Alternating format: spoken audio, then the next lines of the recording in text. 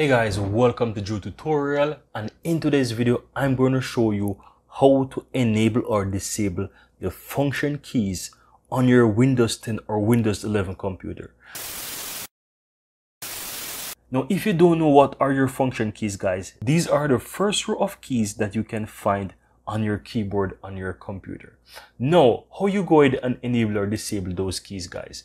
You want to click both the function and the escape key together once you do that, this will enable and also if you click it again, it will disable the function key. So if you find yourself that it's not working, go ahead, click function plus the escape and this will enable them.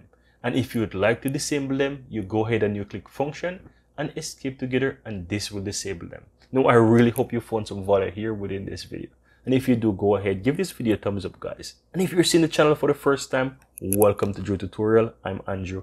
And go ahead and hit the subscribe button below. It's absolutely free to join this community so that you'll never miss out when I release another helpful tutorial just like this one.